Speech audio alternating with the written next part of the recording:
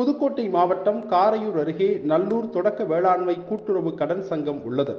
இங்கு கிருஷ்ணன் என்பவர் அடகு வைத்த நான்கு பவுன் நகையை திருப்பச் சென்றார். அவரது நகை அங்கில்லை. அதற்கு பதிலாக மாற்று நகையை ஊழியர்கள் கொடுத்தனுப்பினர் இந்த சங்கத்தில் அடகு வைத்தவர்கள் தங்களின் நகைகளை சரிபார்த்துக் கொள்ளும்படி கிருஷ்ணன் சமூக வலைதளத்தில் பதிவிட்டார்.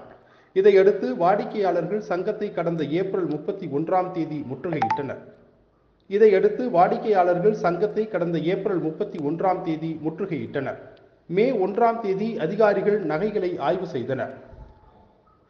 அப்போது நகை மதிப்பீட்டாளர் புதுக்கோட்டை வசந்தபுரி நகரைச் சேர்ந்த சாமிநாதன் தனது சொந்த தேவைக்காக நூற்று ஐம்பத்தி ஒன்பது புள்ளி எட்டு பூஜ்ஜியம் பூஜ்ஜியம் கிராம் அடகு நகைகளை தனியார் வங்கியில் அடகு வைத்ததும் இதற்கு சங்க செயலாளர் காரையூர் சங்கிலி உடந்தையாக இருந்தது தெரிய வந்தது இருவர் மீதும் அறந்தாங்கி கூட்டுறவு சங்க துணை பதிவாளர் முருகேசன் போலீசில் புகார் கூறினார்.